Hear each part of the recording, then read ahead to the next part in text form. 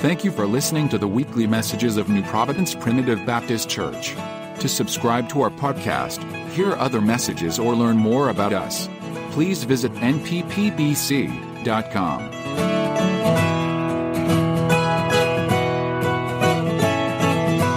Turn with us tonight to the book of 1 Samuel.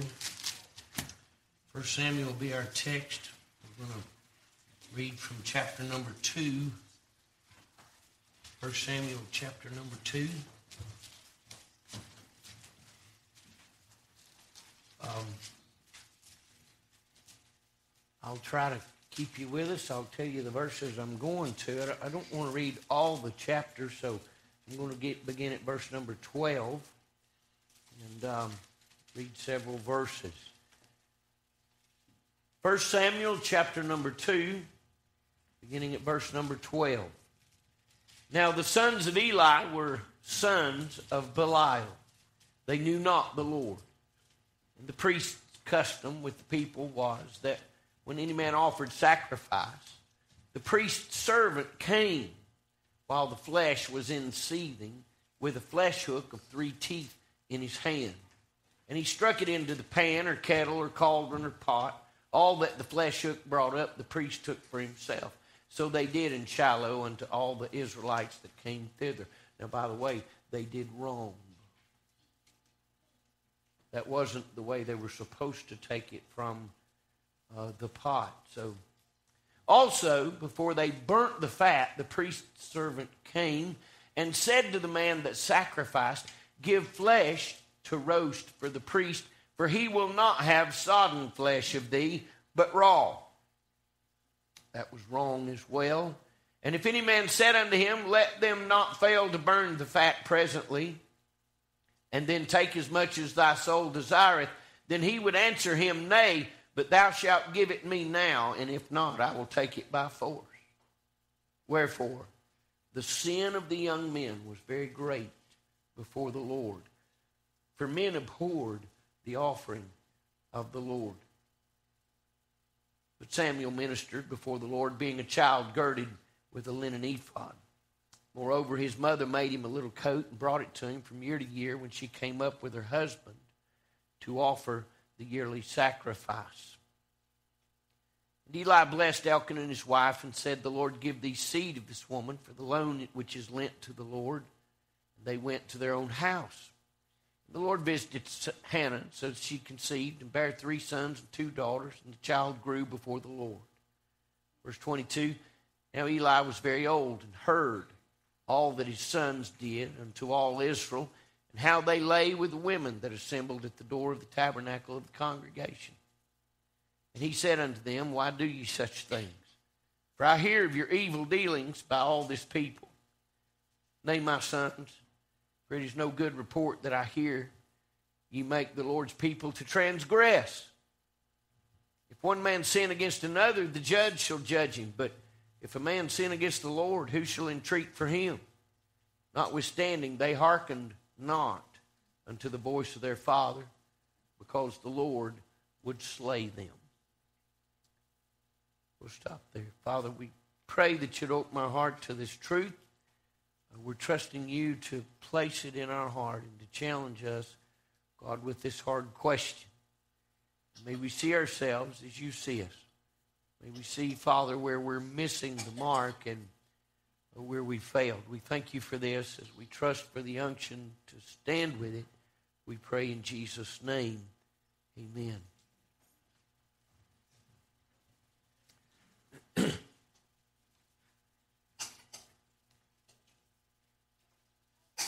Matthew chapter number 23, Jesus said these words Woe unto you, scribes and Pharisees, for ye are likened unto whited sepulchres, which indeed appear beautiful outward, but are within, are within full of dead men's bones and of all uncleanness.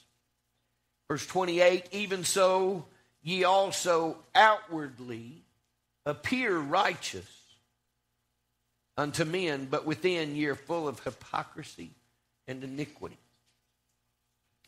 I've just a simple question tonight, and I'll try not to be long. Don't feel like we will be. But the question is there hypocrisy in his house? Is there hypocrisy within his house? The first chapter of Samuel certainly focuses on Samuel.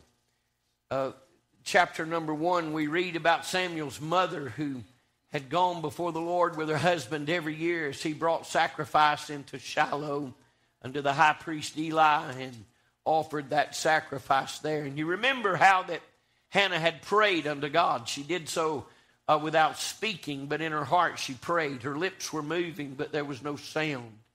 And Eli, seeing her from his point of view, thought she had been drunk and he told her to stay off the wine. And she had assured him, she said, I've not drunk a thing, but my heart is broken. My heart is burdened. And she told him her heart that she desired a man of the Lord, a man child, and and the Bible said that Eli granted her request. And you know the story how that she conceived and bare a son, and, and his name was Samuel. And Samuel, uh, by definition, means lent to the Lord. And so uh, when he was weaned, she brought Samuel back to the house of God, just as she told Eli she would do. She promised him, when the child is weaned, I will give him to the Lord. and she did. Uh, here's the place in the service that we'd like to just stop and preach about how wonderful it is for you to give your children to God. And I believe today that that is still a solid biblical truth. The best thing you can do with your children is give them to the Lord. Every day that you can, take them to Lord to the Lord's house and give them to the Lord. Let God work out in them what needs to be done. Let the Lord and the Holy Spirit work in them in such a way that uh, they find their own salvation in fear and trembling. But uh, Samuel wasn't dropped off at a good place. Samuel was took to the house of God, but he was took to a house of hypocrisy. He was took to a place where everything was being done wrong. And little Samuel was being raised up right in the middle of it. Now, I, am certainly encouraged. I believe the best place we can have our children is right here in the middle of this church, involved in everything that we can. And I'm not of the opinion that some are that you can take them too much. I despise the thought myself. I don't believe you can get a child in front of God too much. I don't think you'll ever go wrong by taking some a, chil, a child or children to the Lord. And I believe we ought to continue to practice that. I'm I'm glad they're here with us tonight. There may be some of them will nod off and go to sleep before the message. That's all right. Amen. They'll catch some of it. But I'll tell you what they will notice is they'll see some old people loving Jesus. They'll recognize there's something about this that uh, that is real, and I believe even in their little hearts they'll know there's something about Jesus. Sister May was telling me this morning that when uh, it was all going on, when the so many was on the altar and we're praying this morning, and uh, that uh, I believe one of I'm not going to call her name lest I embarrass him. One of the little ones scooted in beside her and put his hand in around his great grandmother, and he got in good and tight. And she said, "Now normally he wiggles a great bunch, but he's real still." And she said, "I believe he could feel what was going on." You know, they don't know yet what's going on, but I believe they getting a sense. And I'd sure like for mine to know that there's a God and He's real. But old Samuel got dropped off in a bad place. I'm telling you, they lived in the time, you see, at the end of the Judges. And you can read in the book of Judges, and every time you get to the end of one of them books, you'll hear, uh, you'll hear the writers say, Now there was no king in Israel. And every man did what was right in his own eyes. And there had great corruption arose within the house of God.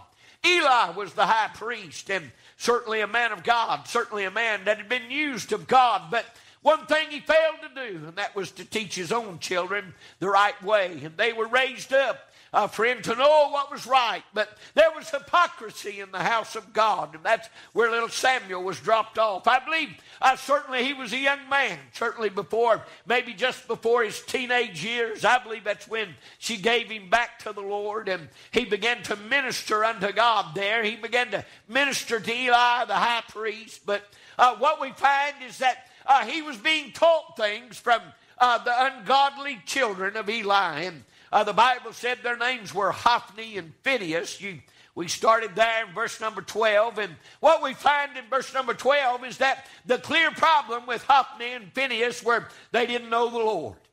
They didn't know the Lord. They didn't love the Lord. According to the Word of God, they were sons of Belial, which means they were uh, they were for certain hypocrites as they would come and do uh, the ordinance of God, as they would receive the sacrifices from the people of God. Instead of offering it up unto God, they would steal the sacrifice and they would take it to their own homes and they would feed their own families and feed others and, and have a big uh, party with the sacrifices that were given. And they did it so much that people began to abhor giving a sacrifice unto God. And the Bible said there, as I read to you, that the Lord knew what was going on and that it uh, certainly had uh, upset God and He was fixing to do something about it. But I'm going to ask us a question tonight Is there hypocrisy in His house?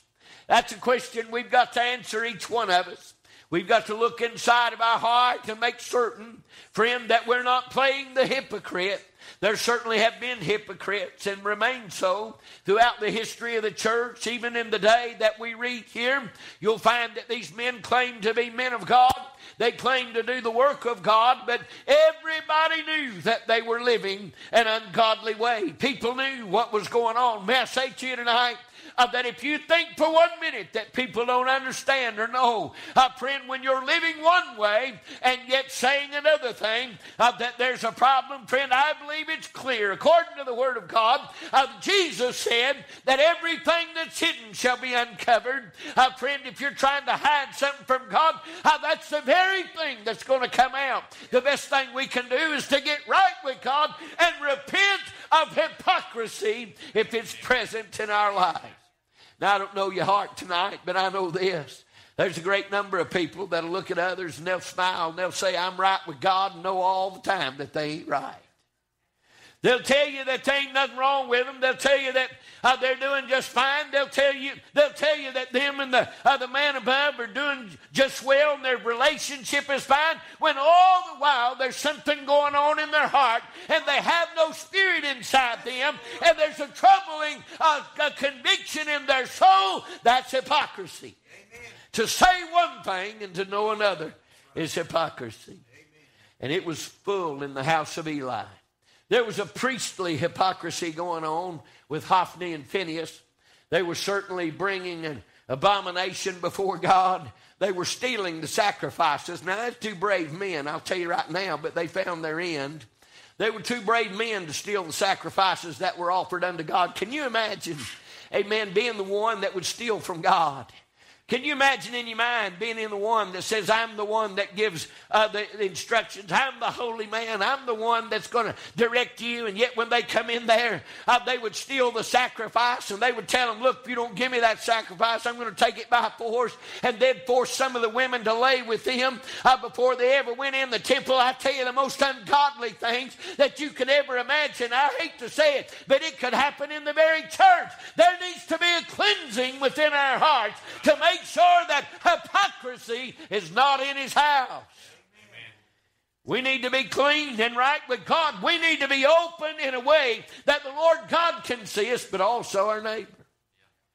Or when we say something, we ought to be able to back it up with a life that lives it. According to the Word of God, Hophni and Phinehas, they were robbers of God. The Bible said that when uh, Eli had got word of it. The scripture said that when he found out they were laying with the women at the temple, uh, which obviously was an ungodly use of their authority, right? They were forcing these women to do these, uh, to fornicate and to do these ungodly things. And I, you know, when I think about how awful things can be, it starts when somebody don't know God. I'll tell you right now, the dangerous, most dangerous thing could ever happen is for a pastor to be unsaved. You say, well, Lord, surely nobody'd go into the preaching business on purpose. That's the way I felt about it, right? I, I didn't pick this calling. But there's some, I'm afraid, that they, they seem born to do it. And I believe they're children of the enemy. I really do. I believe that there's some that never been born again that stand behind the pulpit tickle people's ears and, and do the things that seemingly please and draw a great crowd. And all the while, they'll steal him from God. It ain't the first time you've ever heard of this. Within my own lifetime, I've heard of men having embezzled from their own churches hundreds of thousands of dollars. I've heard the testimonies of ungodly and wicked hearts, amen, that have stolen from God. How in the world can you get brave enough to steal from the Almighty? I want you to know that there is a perilous condition that plagues many people in many churches across this land today, and it's hypocrisy in the house house of God needs to be cleaned up. Will be. It'll be cleaned up. Well, according to the Word of God, everything unco- er, covered up, He said, I'm going to uncover it. Yeah, they're found out. They're found out. But oh, the, the tragic and, and terrible wake of destruction they leave when it happens. All the people that trusted in them and trusted in their leadership and their authority all of those that followed after him and, and, and served or maybe worked in that church, many of them probably saved and give all their heart to that church just to find out that somebody that was leading the thing was corrupt in their hearts and they didn't know God, you see. They were also sons of Belial. You say, surely to God that can't happen. It does happen. And we need to be careful that we recognize that there needs to be a purity in our hearts. There needs to be a living. I'm talking about a man of God ought to be a man of God on Monday the same as He is on Sunday. You ought to live it and walk it and preach it and teach it every day of the week. There ain't a day off from being a child of God, friend. Otherwise, it's just hypocrisy in His house. I'm afraid today that some take it too lightly the calling of God and those things that God has engaged and employed us to do. I believe we take too lightly the importance of holiness and how we're to live. There was hypocrisy in the house when Samuel was dropped off, and the young man had to live in that. But I want you to notice in the scripture, uh, we, we caught a couple of them in the simple chapter or the short chapter that I read, or the part of it. Where every time it said that Hophni and Phinehas had done such abominations before God, he'd come back and he'd say, But Samuel, the child, grew before the Lord. You say, How in the world did the child make it? And amongst that kind of hypocrisy going on, I'll tell you how he made it. There's a mama somewhere. Amen. Her name was Hannah, and I believe she was praying for that boy every day of the week. I believe every day she went down on her knees praying for Samuel. Even when she had three other sons and a couple of more daughters, ended up having five children. The woman that was barren ended up with six, including Samuel. And I believe she was praying for him. You say, How do you know? Because she is making him a coat. She is making him a coat all that year. And every year she would go and give him that little new coat. A coat that was bigger than the last one. A coat that would fit him for the next year. A coat that would comfort him and remind him that she was. Let me tell you something. We live in a world of hypocrisy. Makes me sick. It makes me sick. We live in a world of people that'll pat you on the back and tell you one thing when all the while they have a motive that is wicked and corrupt. But I want you to know that my God knows the difference. And I also want you to know that my God has the ability to preserve my grandchildren and to raise them up in the admonition of the Lord and to teach them those things they need to know. And in spite of the hypocrisy of this ungodly and wicked world that we live in, if we've got praying mamas and praying daddies, there's still hope for our children today. Don't give up. No. The Bible said that Samuel grew in wisdom before the Lord and he ministered unto the Lord. First it said he ministered before the Lord, then it said he ministered unto the Lord. I want you to know God was getting the good out of young Samuel. He might have been raised up in the house of hypocrisy, but I'll tell you right now, there was a mama's prayers and there was a good God that had a hand upon him, and he was somehow or another sheltering that young man and from his little mind from being corrupted from the things of this world. I'll tell you, it's only hope our next generation is God if the mamas and the daddies are praying and God's good hand are on our children to preserve them from the wickedness and the ungodliness around. I tell you, the agendas of most in this world today are corrupt at the very core. You say, Preacher, you've grown pessimistic in your old age. No, I'm not pessimistic, I'm realistic. It just so happens it's true. It just so happens friend, that, that we are corrupt from the highest portion of our government plumb down to the bottom of it. Our court systems are corrupt from the supreme down to the appellate. Our school systems are corrupt from the top to the bottom. Now, I realize that in, in, in, our, in our court system, in our government, and in our school systems, God's put saved men and women to try to make a difference. And I'll tell you right now, I thank God for them. Amen. They, they're living in there as they're living among the wolves. I can tell you that much. Because just as we were talking in Sunday school this morning, if you were to come right out and say what you thought, well, they'd probably hang you or, or for sure fire you.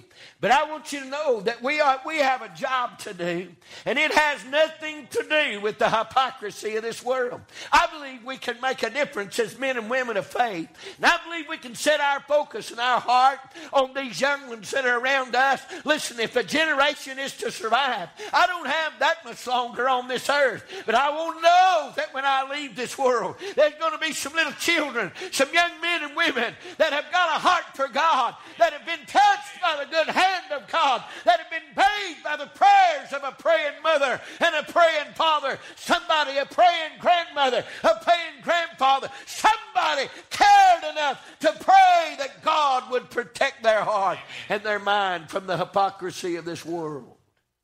Oh, but we need to keep it out of his house. The best thing we can do is to live pure before God's eyes, to live in a way that is holy before Him. Listen to me.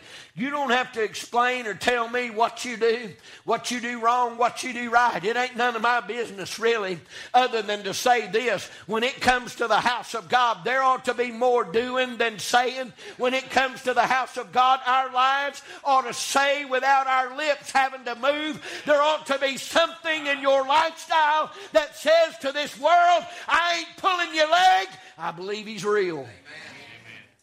I believe he's real. And Phinehas said the problem was they lost. It goes back now to first the priestly failure, but also a, parent, a, parental, a parental failure. Eli had a responsibility to raise his children. He didn't do it. That's on him. I'll tell you right now, if you're a parent, you got a responsibility to raise your children right. Amen. If you if you shortcut, let me guarantee you, you'll get a shortcut response. You'll get a shortcut end to that. You can't shortcut parental work. It takes it all the time. And until, even when they're grown, you're still trying to help them. But then comes grandkids or, or their kids. And I'll tell you right now, there's, there's always a something that we ought to be careful about because I'll tell you, when it comes to hypocrisy, it is a wicked and it is a vile root that takes heart in people and they believe their own lie and they think they're okay. And friend, they go on about their business and they're dragging people into hell as they go. Hypocrisy is a dangerous thing. Jesus was so upset with the Pharisees and the scribes and the Sadducees that he called them out for it. He never, I don't believe he ever missed an opportunity to call them out. As a matter of fact, I believe the Spirit of God and the purpose of God all along was so intent to expose them that John the Baptist came out of the wilderness preaching it.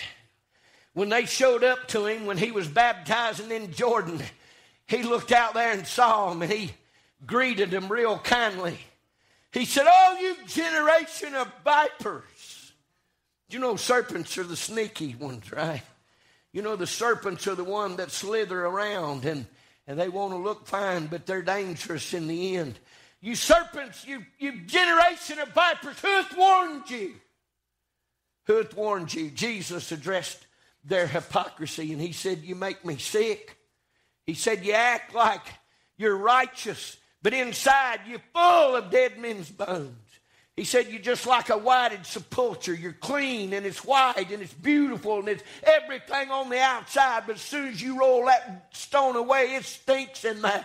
There's some corruption in there. There's some rotting decay inside of that tomb. You say, Preacher, that don't go on here. I hope to God it don't. But we need to be about His business and make sure that it don't. We can't have hypocrisy in His house. I'll tell you how God deals with hypocrisy because he dealt with Hophni, Phinehas, and Eli. He dealt with them quite severely. The Bible said just after I stopped reading in verse number 25, you'll find in verse number 26 that there was a man came to Eli and he told Eli straight up, he said, God's ended your rule. He said, Your two sons are going to die on the same day, and you will as well. And he said, God will end your lineage as priest right now. He's fixing to stop it. Now, that was the death sentence that was placed upon those three men a dad and both of his sons. The Bible said, you'll remember in chapter number three when God began to call Samuel. Remember that story? Called him four times. Samuel, he said, and Samuel jump up run into Eli and say, You called? And he said, No, I didn't, son. Lay back down. Remember? And on third time, he went in there and he told Eli, He said, You called? And he said, No. But the Bible said Eli perceived it was God. And he said, Listen, when you go back, he said, You lay down. And he said, When you hear it next time, he said, Here I am, Lord. Thy servant heareth. You know what he heard? Next thing he heard was his name called twice. And again, it was the Lord God. And he said, Samuel, Samuel. And Samuel rose up and he said, Here I am, Lord, thy servant heareth. And you know what he told Samuel? Just what the other man had said. He said, Eli is fixing to be gone. I'm fixing to deal with Eli and the hypocrisy in my house. You don't think God deals with hypocrisy that way? Let me introduce you to a man and a woman named one Ananias and the other Sapphira. In the book of Acts, when they were all selling what they had and bringing the, the, the, contribution to the church, and they were giving everything to the church, and they came before Peter, Ananias did, and he had this big sack of money, and he handed it to him. He said, Hey, I sold my stuff, and here's everything. I want to give it to the church. And you know what? The Holy Spirit spoke to the Apostle Peter, and he said, That ain't everything. He's lying. He's lying. No, Peter looked at him he said, Why? Why has Satan filled thine heart that you would lie to the Holy Ghost of God? And the Bible said, Oh, Ananias fell dead right there on the spot. You said, Boy, thank God he don't deal with us that way anymore. You sure he don't? I ain't so sure what God does or he don't do when it comes to taking people out of this world. But I'll tell you one thing I don't want to be guilty of, and that's hypocrisy. I don't want to be guilty from stealing from the house of God. Said, preacher, I don't steal from God. Well, according to the Old Testament, he begged their pardon. He said, You should have been tithing and you ain't. For that, you got holes in your pockets and you can't ever make things meet. You can't ever get it right because you won't ever do what's right. You won't ever give as you've been given to. You won't ever open your heart and be true about it. Listen, I don't believe God trying to raise money. He don't need your money. He's trying to raise children. He's trying to raise obedient servants. And brother, giving is part of that obedience. And whatever it is you work out with God, you best be sticking to it. That ain't none of my business what it is, right? I got my own tithing testimony. But whatever it is you've committed unto God, you better stick to it because it's your commitment, it's your vow. Right? Whatever it is, it don't make no difference if it's a dollar. If God's pleased with that, I'm pleased. It don't make any difference. What I'm trying to get at is hypocrisy is saying you do one thing when you do another. And hypocrisy can't exist in the house of God. And it's a dangerous thing. Ananias and Sapphira found out. Eli and Hophni and Phinehas found out. The Bible said the Philistines rose up against uh, the people of Israel, and they went out to fight them, and the Philistines whipped them, killed 4,000 of them. They come running back. Some of them said, Hey, I got a good idea. Let's grab the ark of God. They won't defeat us if, uh, if we take the ark of God down there with us. Well, I tell you right now, God ain't your paper boy. Amen. He ain't working at your bequest when you take the ark of God, you better make sure God's behind it. You better make sure it's His will. You've got it. Because when you're acting in your own accord, you're going to find out what Hophni and Phinehas did is that God ain't fighting no battle for a hypocrite. So they grabbed the ark of God and they headed back down there. They're going to fight them Philistines again. We'll get them this time. The Philistines heard them shouting when the ark of God come into camp.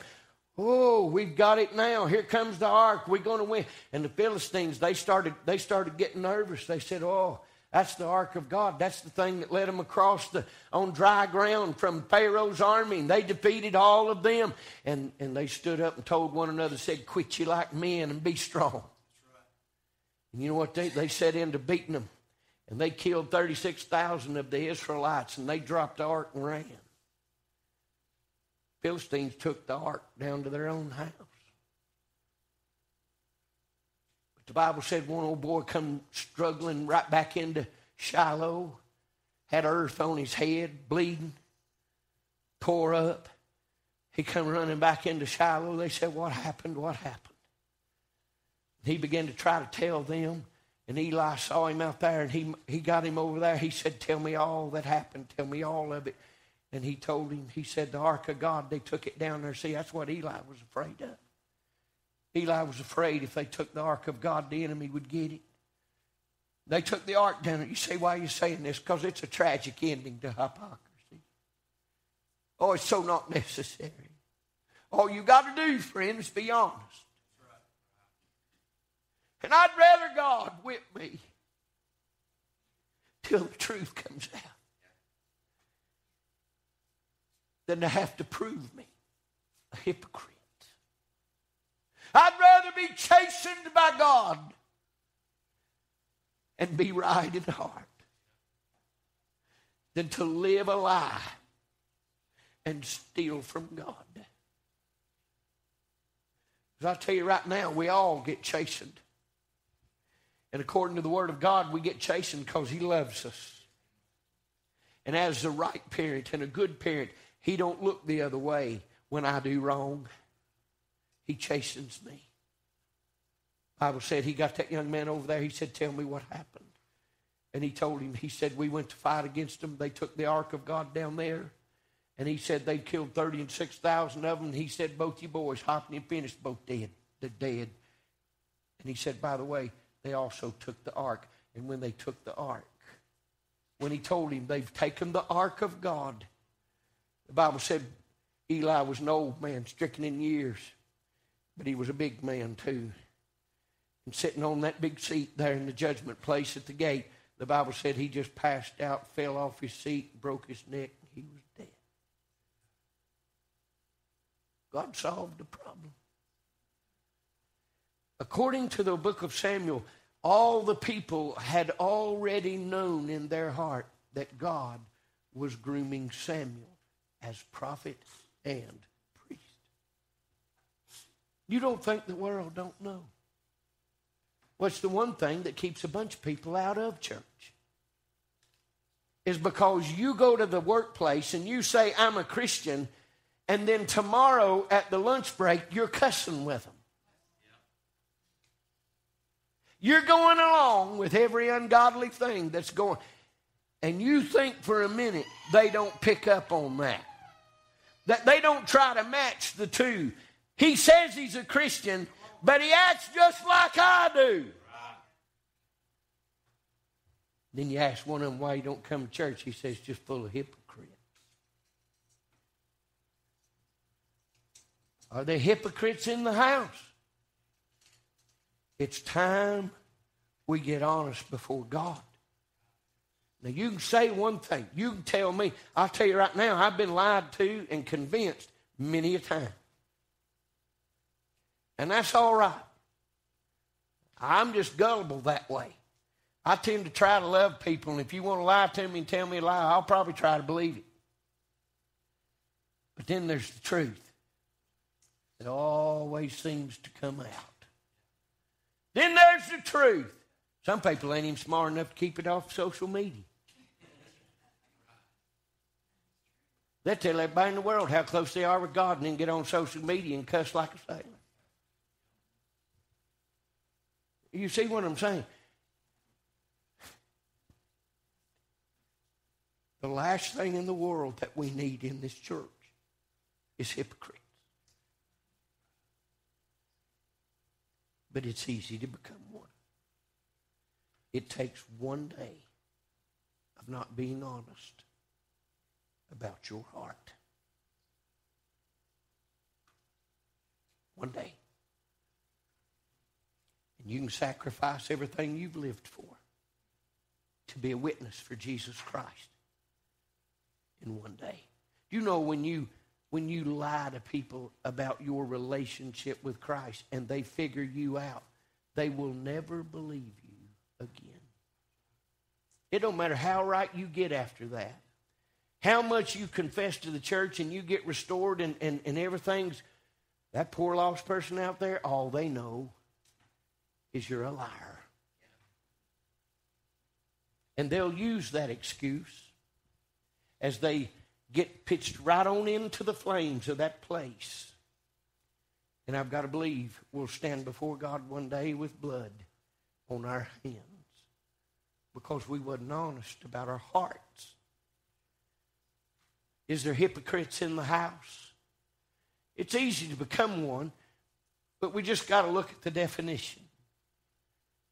If we ain't what we say we are, that place in between is hypocrisy. You say you're a Christian, do you live like one? Do you talk like one? I'm going to mess with you right now. Do you dress like one? When the world sees you, are they bewildered by your speech? That's one way they knew that the disciples were of the Lord, said their speech betrays them. We can tell by the talk that they've been following Jesus. We need to be real about our own hearts. You don't have to look at your neighbor and say, I've been a hypocrite. Ain't none of his business. Hers. But you better look at God with this and say, I'd like to get this cleaned up before the destruction begins, before the, before the uncovering that God so carefully does. Listen, God's not fooled by hypocrisy. And we've come too far.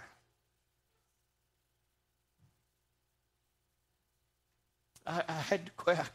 I was praying. I don't know if anybody listens to me pray, but I sure prayed it tonight. I said, God, I don't know why you're having me preach this, but I'm going to preach it. I believe we're on the I believe we're on the corner of seeing a breakthrough of a revival like we've never seen. But hypocrisy will stop it.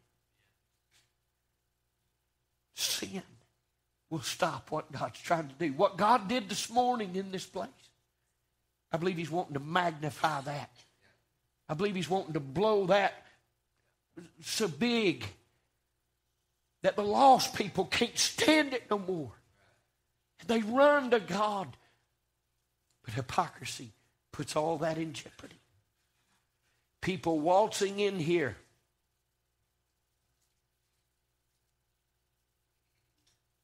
As if they're as close to God as you could be, when all the while they know, they know, they know that their heart ain't right. They've got sin in their life and they won't let go of it. May I say to you tonight, you're putting in jeopardy what God's trying to do. And that makes it terribly, terribly important to all of us. We need revival. Listen, I know, I know churches all across this land are sick, but we sick too.